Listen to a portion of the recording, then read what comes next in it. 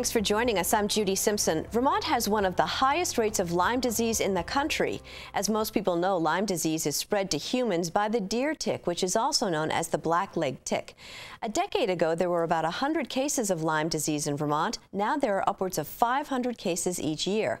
A professor at Green Mountain College in Poultney is actively researching the deer tick. His work includes DNA testing to determine the levels of bacteria within the tick that cause Lyme disease. Joining me is biology professor Bill Landesman. Thanks so much for coming in. Thanks for having me.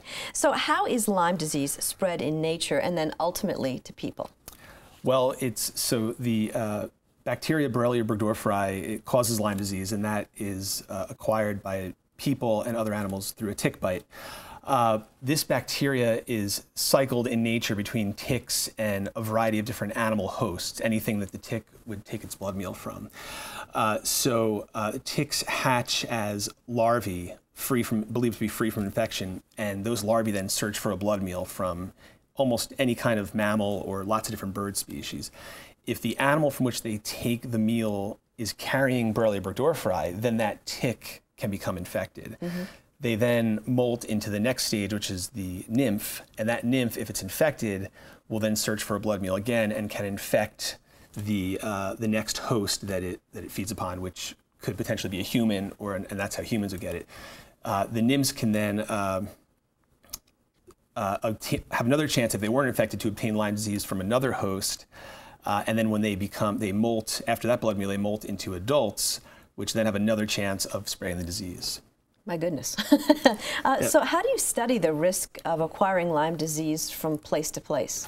Uh, two key factors that my lab looks at and other labs are the population size of ticks. Excuse me. Um, mm-hmm. The uh, so the more ticks that are present in an area, uh, the riskier your chance of getting Lyme disease. Um, another factor is uh, the the percentage of ticks that are infected with the bacteria. And you mentioned the nymphs or the nymphal life stage. Why is an abundance of nymphs an important risk factor for Lyme?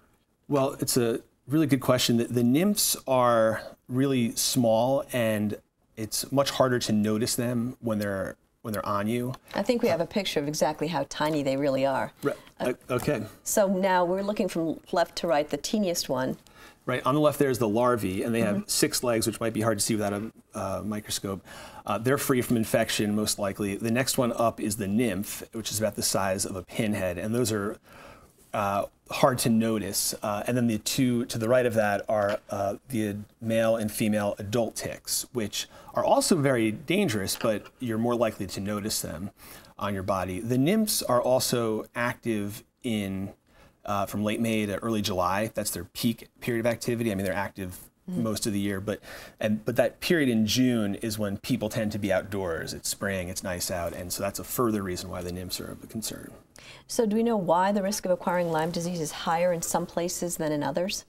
Uh, well, there's lots of uh, good work being done on that. It's a complex issue. We don't know all the factors, but um, it's really useful to study wildlife biology to understand what's happening. Um, the especially of, of interest is uh, what's happening with populations of the white-footed mouse. That is the host that is most likely to pass on the pathogen to a tick. And so if we can get a handle on what's happening with the white-footed mouse, we can better predict uh, how, how uh, Lyme disease transmission varies from place to place and over time. Uh, thing, uh, factors such as land disturbance, forest disturbance, this is a forest dwelling organism, can affect their population sizes. They tend to be more, act, uh, more abundant in more disturbed forests. It's just one example of, of how Lyme disease risk varies, and it has to do with um, factors such as disturbance which affect the white-footed mouse. Mm-hmm. Because they, the white-footed mouse loves a smaller patch. We were talking earlier because the risk of having a predator nearby is less. Right. There are fewer predators and uh, fewer predators and fewer competitors. So when you have a disturbed site, um, the white-footed mouse can colonize that site. Everything clears out. The mouse can colonize really quickly and be free from predators and competitors. Right. So what can people do to reduce their chances of getting Lyme disease? Uh, well, I think awareness is the biggest issue. Uh, this program, for example, mm-hmm. is uh, really important. And just to be aware and know that ticks are out there and um, to check yourself as much as possible. I like to say it's very unrealistic, but I like to say it's like brushing your teeth. Do it twice a day, mm-hmm. um, but that's not terribly practical. What you can do is if you're if you've been outdoors, when you come inside, put your clothes in the dryer uh, for an hour. Less might be okay, but that, that will kill the ticks on your clothing. So before just dumping them in the hamper, put them right in the dryer. You definitely want to do that because they'll get out and then they'll crawl around. And this is another hidden risk of getting Lyme uh, tick bites is that you may never go outside if someone someone can bring a tick into your car or your home. And, and so the dryer, um, there are bug repellents that you can find uh, commonly available that can also help if you're out in the field. Let's get into some of the specifics of your research. What's the overall goal? Um, well, we're just trying to understand how the risk of acquiring Lyme disease varies from place to place in nature. And um, so we are uh, looking at how the population sizes vary and the infection rate varies. Mm -hmm. And so, who provides the funding for your work? Uh, the Vermont Genetics Network, which is based out of the University of Vermont, uh, they offer uh, competitive grants for faculty at several colleges across the state. And they also offer uh, professional development opportunities, which combined with the support and the development we get at our individual institutions, we're really in a, a great position to do high impact, uh, meaningful research in the biomedical field specifically. Let's talk a little bit about how you collect your data. Mm -hmm. How does that happen? Well, uh, it's pretty straightforward. Uh, to determine uh, tick population sizes, we take a denim cloth, which is, and you can see it up on the screen here, that's a, a square denim cloth, and we drag it. Those are uh, Izzy and Seng, two of my undergraduate researchers, and they're uh, dragging it on the forest floor and um, um, across a measured distance. And they will then check the cloth periodically and count the number of ticks they collect and they can determine the number of ticks per unit area, which is um, a way to determine the tick density, which we can then compare from site to site. Mm -hmm. And so, how do you estimate the size of the tick populations more than that? Do you just count the number in that particular area? Does it change daily? Do ticks move around a lot? Yeah, uh, daily, uh, more seasonally. Mm -hmm. So from month to month, you'll see a peak around June of the nymphs. Mm -hmm. You'll see a peak of adults in the fall. Um, they can also change from year to year and um, and even across decades. Um, you know, ticks weren't always present in Vermont. Um, this is a fairly recent phenomenon that the, right. the populations are expanding. And so, um, what do you do once you count the ticks? Do you collect them as well? We collect them, right, and we test them uh, to see if they're carrying Borrelia burgdorferi, the pathogen that causes Lyme disease. And how do you do that? So we take the ticks into the lab, we grind them up, and we use a sta fairly standard procedure, um, which is what you're looking at here, um, to take out and isolate all of the DNA in that tick. So some of that DNA is DNA from the tick itself, some is from uh, Borrelia burgdorferi, and anything else that might have been living inside that tick. And we uh, take the DNA and then we will test that DNA for a gene that is unique to Borrelia burgdorferi. And that will, uh, and we use a test called polymerase chain reaction to determine if Borrelia burgdorferi is present. Mm -hmm. uh, what else can you learn from DNA analysis? Well, in addition to Borrelia burgdorferi, there is a whole community of microbes living in that tick gut along with Borrelia, and we can uh, this is a fairly new field um, of research where we now have the tools to measure the entire microbial community in that tick gut. And it's possible that the, the specific composition of microbes in the tick gut are going to affect Borrelia burgdorferi's ability to survive, either help or inhibit. So that's one thing we can do. We can also determine where the tick received its blood meal. Mm. If a tick, for example, got its blood meal from the white-footed mouse, there will be DNA from that white-footed mouse in the gut, and we'll be able to detect it. That's coming next. We're all the work we're doing now is, is leading up to those tests, which we'll do soon. So, what are some of the takeaways from your research so far?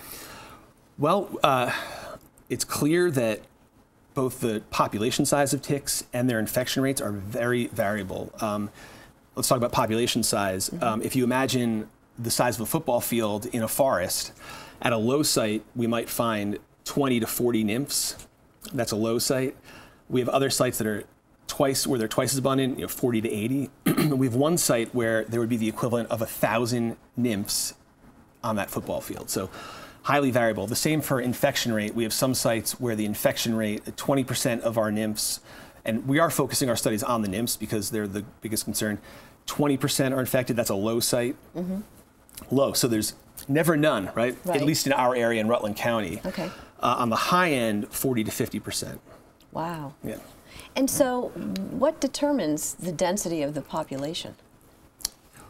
Um, the density of the population of, of the of the nymphs. Yeah, you said um, in one football field there could be you know a lot on one side, not so much on another. Right. Um, well, it has to do a lot with the um, the the hosts that are there. Um, it's called the deer tick mm-hmm. sometimes, and so that's one example. If you have lots of deer, that can really increase the number of, of ticks in the area.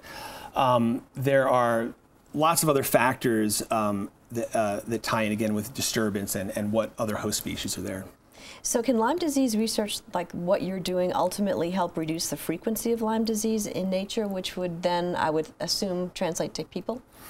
Yeah, um, I think this research helps in two ways. Again, the awareness. Um, there's also uh, the potential, and this is uh, certainly not just my research, but what others are doing around mm-hmm. the country, to uh, see if there's a way that we can manage our natural areas to reduce the populations of these hosts that are really uh, propagating Lyme disease and ticks. It's a long way off, but there is this uh, potential to, to, to manage our lands in that way.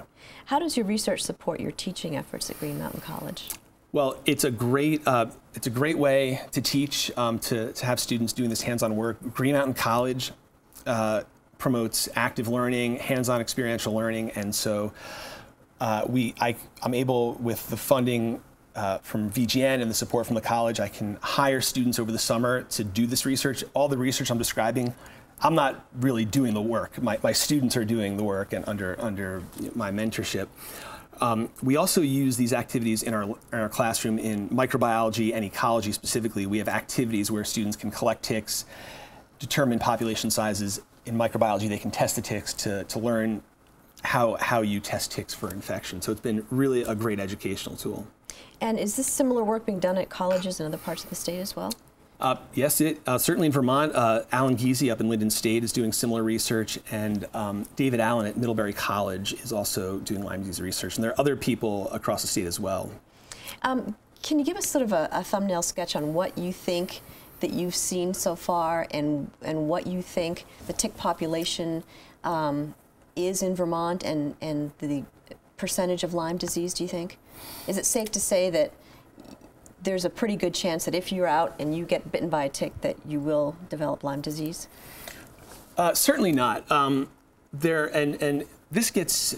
Uh, so first of all, not all ticks are infected. Um, it is a high rate. Nymphs anywhere from 20 to 50 percent.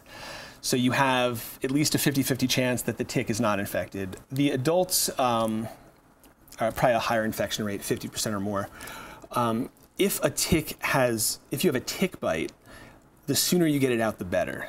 Uh, the general rule is that it takes 24 to 36 hours for the bacteria to make its way from the tick into your tissues. Um, I certainly wouldn't wait that long um, because you never know for sure. But right. the sooner you get it out, the better. Um, personally, um, between this research and some other research, I've had many tick bites. Um, I've and um, well, I've never tested positive, but um, uh, so far so good. Mm-hmm. Um, and um, so it's not a guarantee, but the awareness is really is really important. Right, and you were saying that you should build this into your routine, your regular outdoor routine when you come in. I, I, that's, I mean, especially if you're working outdoors. Certainly for when I do research and, and my group is out in the field, that's part of our job. We uh, we come home, we leave time to take care of our clothing, check ourselves, and and do it multiple times a day. Um, especially during the during the uh, summer and spring months, and um, if you spend a lot of time outdoors, especially if you're in, in a forest. The forests are, are where this is most common, but you could get you could pick up a tick anywhere, even in your car. Someone could bring bring a tick into your car or your home. But no need to panic. Just be aware.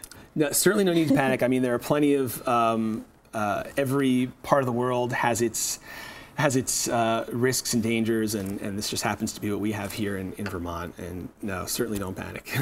well, thank you Enjoy so much. nature. thank you so much for joining us. Thanks for having me. That's our program for today. I'm Judy Simpson. We'll see you again next time on Across the Fence.